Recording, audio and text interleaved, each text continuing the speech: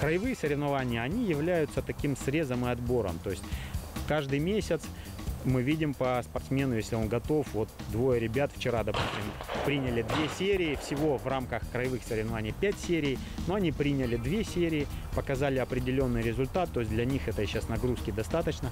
Мы посмотрели, как они выступили. И, соответственно, тренеры делают уже соответствующие выводы об увеличении нагрузки или об уменьшении. Ну и вообще о перспективах. То есть постоянные соревнования, которые, я, как я уже сказал, мы раз в месяц проводим, они дают возможность постоянно делать такой срез.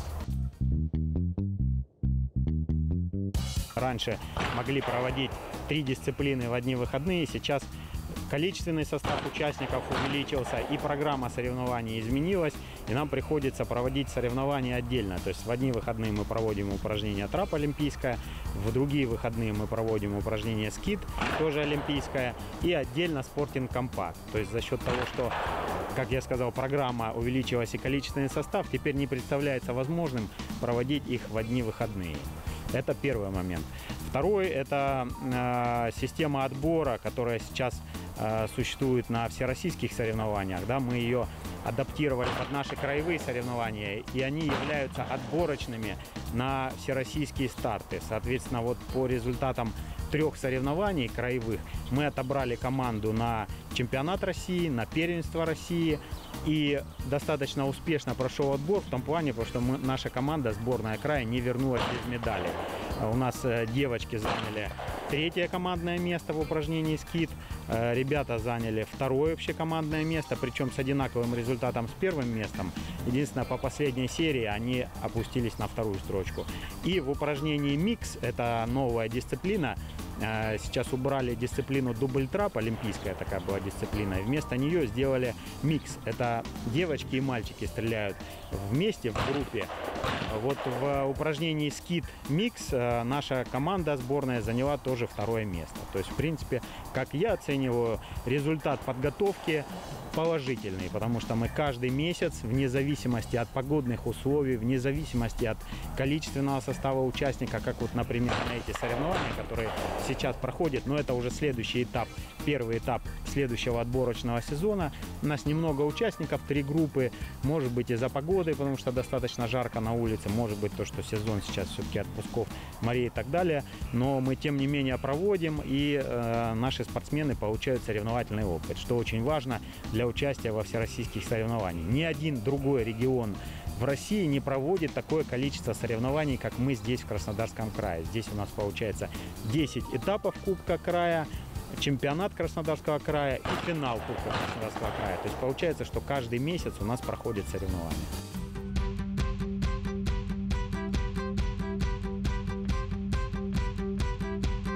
Для нашего региона самое комфортное время это весна-осень. И как раз в это время здесь проходят всероссийские соревнования, как правило, проводятся этапы Кубка России, чемпионаты, первенства России. Бывают один-два месяца в году, когда температура ниже нуля, сложновато проводить, так как соревнования на открытом воздухе.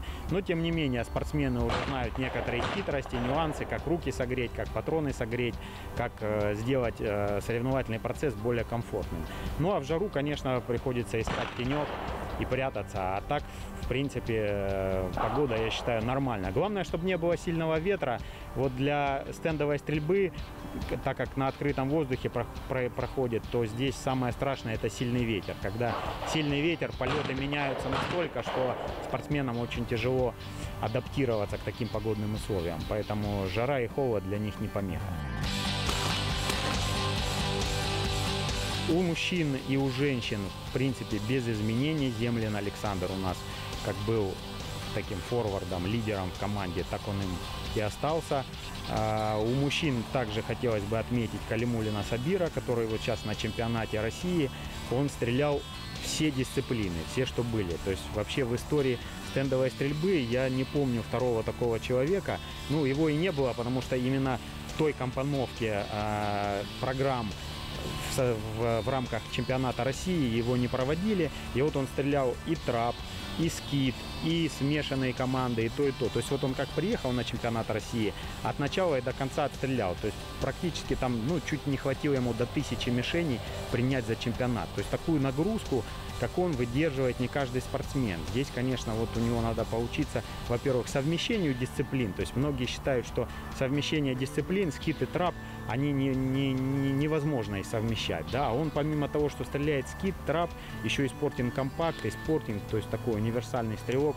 Раньше их называли многостаночники. Вот он в составе команды, сейчас заняли они второе место, это э, Конев Евгений, мастер спорта международного класса наш тоже сейчас набирает обороты. Землин Александр, как я уже сказал, и Калимулин Сабир. Вот это мужская команда. У девочек у нас также Землина Кристина, Гусева Александра и Ребуха Сандра. Но это спортсменка, которую мы привлекли из Ростова-на-Дону потому что у нас э, с взрослыми женщинами немножко был недобор по команде, и сейчас она выступает за Краснодарский край. Но что радует, это наше подрастающее поколение среди юниорок особенно, да, то есть девочек у нас а, две девочки уже в сборной команде страны, вот, и есть еще кто в резерве, то есть они уже основательно наступают на пятки Э, взрослым спортсменкам. И мы даже при формировании основной команды на чемпионат России э, думали о том, чтобы включить в женскую команду юниорку, потому что она за явным преимуществом показывала хороший результат. Но так как э, немножко там в плане двойного зачета была проблема, тогда бы ей в первенстве не получилось в миксах участвовать, мы приняли решение все-таки разделить. А так уже уровень э, девочек, вот девушек, да, юниорок такой, э, что они конкурируют с женщинами. Точно так же и у ребят, то здесь э, надо отметить работу тренеров, каждодневную, опять же, тренировки проходят в любую погоду, при любых погодных условиях, поэтому вот эти ежедневные или там еженедельные тренировки, они дают свой результат. Со временем, но дают.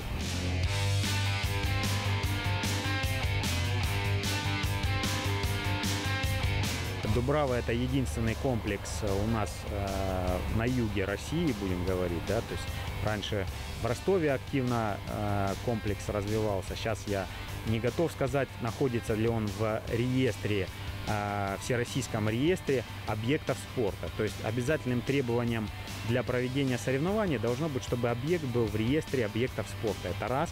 А раз он в реестре объектов спорта, значит он сертифицирован. А раз он сертифицирован, значит он соответствует всем требованиям правилам соревнований и к требованиям безопасности. Конечно же, проводить на других стендах не представляется возможным, потому что э, эти стенды не будут соответствовать э, реестру, не будут соответствовать требованиям безопасности и правилам виду спорта. И брать на ответственность, да и тратить время, э, проводить соревнования и стрелять на тех полетах, которые не соответствуют правилам соревнований, нет смысла. То есть наоборот, спортсмены расслабляются, как правило, показывают более высокий результат, но приезжая на всероссийские соревнования, здесь-то уже все настроено в соответствии с правилами, и они проваливаются. Такие примеры есть у нас, поэтому мы стараемся, если выезжать на другие стенды и другие, в другие регионы, то, как правило, это там, где будут проходить вот эти всероссийские соревнования.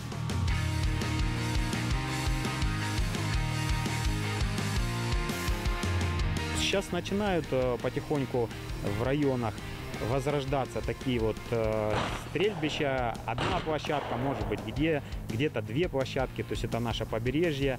Вот э, Анапа, Новороссийск, э, Ленинградский район активно. Но у них не олимпийская дисциплина, а спортинг компакт.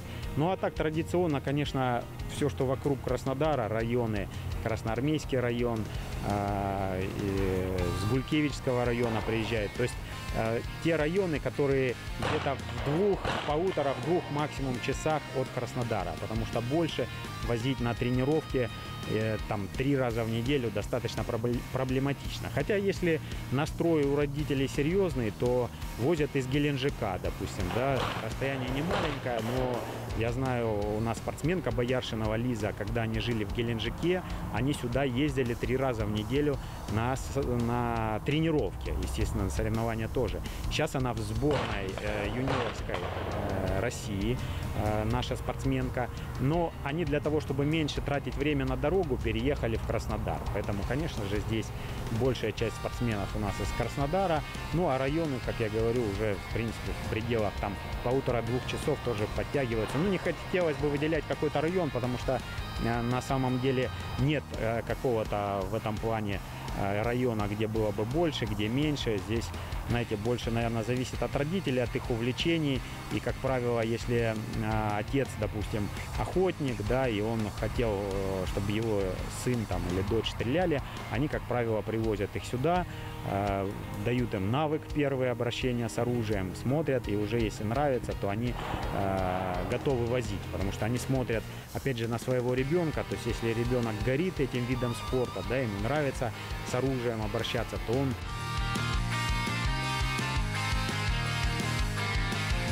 естественно, и готов будет его возить.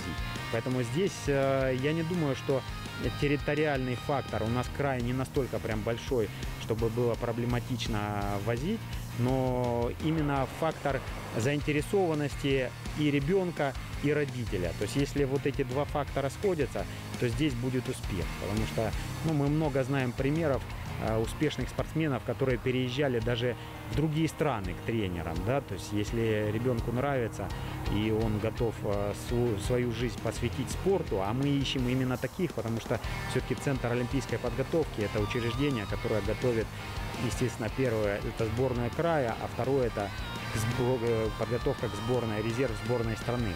Поэтому здесь мы именно стараемся отбирать таких э, детей, таких спортсменов, которые готовы жить этим видом спорта, а не просто его рассматривают как хобби. И даже взять пример э, Саши Землина, да, его часто мы рассказываем, что он начал стрелять с 6-7 лет, его отец привозил также на комплекс, брал с собой на охоту, и он видел, что он горел стрельбой, и даже когда он где-то что-то провинился или плохо учился, у него, у отца, знаете, какая страшилка была, не как сейчас мы детям говорим, там, заберу у тебя телефон, или там мультики не будешь смотреть, он говорит, я тебя не возьму на охоту, то есть для него наказанием было, что его не возьмут на охоту, это в возрасте 7 лет там и старше, допустим, да, то есть вот он настолько горел стрельбой, ему нравилось стрелять, и вот результат, да, он уже в юниорском возрасте попал в сборную страну, э, выиграл первенство Европы, э, стал чемпионом мира.